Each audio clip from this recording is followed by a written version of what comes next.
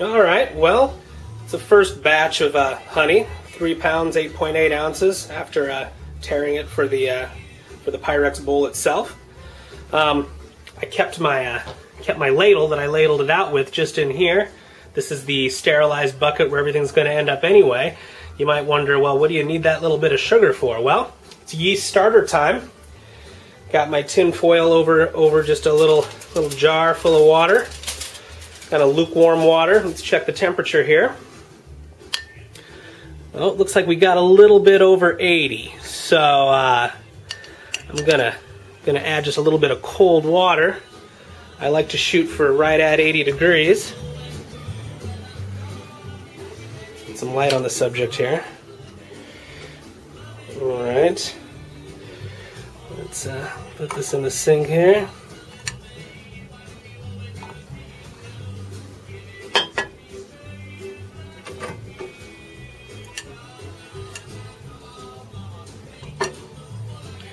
Just add a little drip. Should take us back down a little bit. Basically, I think anything between 70 and 90 kind of works. I mean, yeast is pretty resilient, especially this champagne yeast. So now we're uh, we're at 85, and plus it'll cool when I add the yeast because this yeast was in the freezer. So uh, first of all, I'm going to add a little sugar.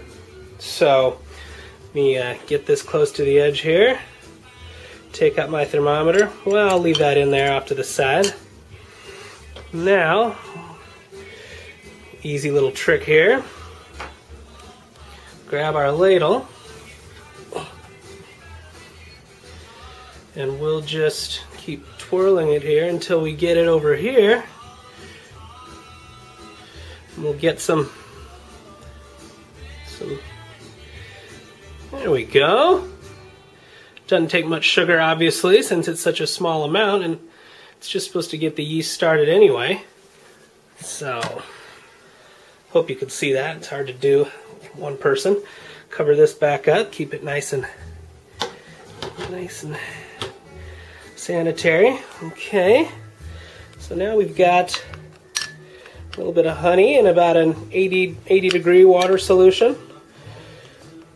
Thermometer makes a nice little mixer while it's at it. Let's see if we can get this all dissolved.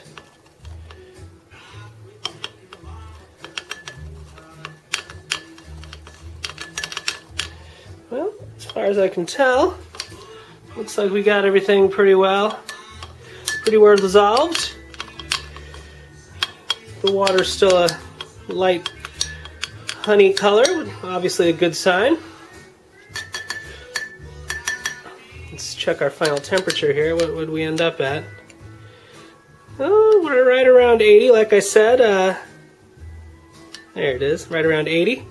Like I said, I think the yeast will actually cool it down. That last little bit will be right where I want to be. So, get out the old uh, champagne yeast. Rip it open here.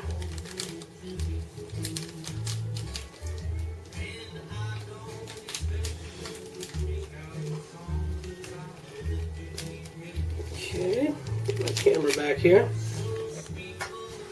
So now we got this uh, ripped open here. I'm Gonna add it now.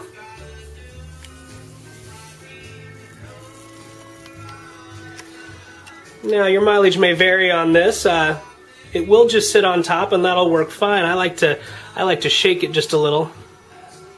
So you can see a few of them get down in there. Uh, let the let the feasting begin on the old on the old honey. In fact, we'll uh, mix this up a little bit.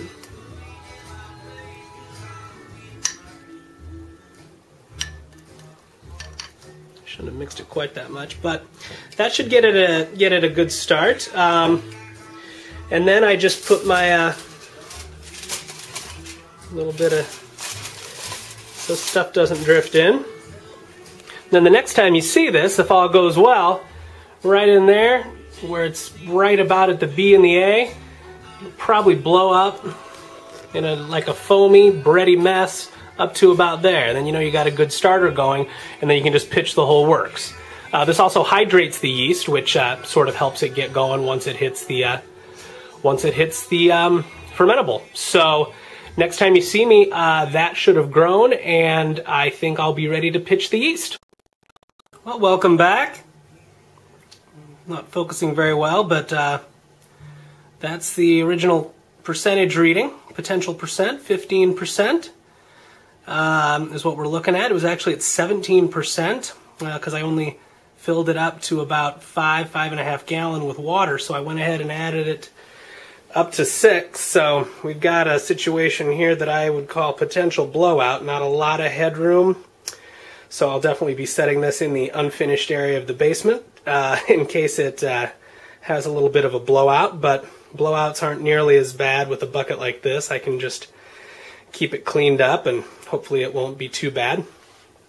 We're sitting here right on a temperature now of, if you can make that out, that's the 76 degree mark. So I uh, checked it with the real thermometer and, and this, this old uh, stripe thermometer here still works pretty well. So really good temperature for the yeast. As you can see with the grad graduations here, I'm, uh, I'm a good good gallon. That's the five gallon mark there, that red mark. And so I'm about that same distance up again. Gets a little wider at the top. So I'm probably right at six gallons of 15% uh, um, original gravity. Let's take a look at our yeast starter.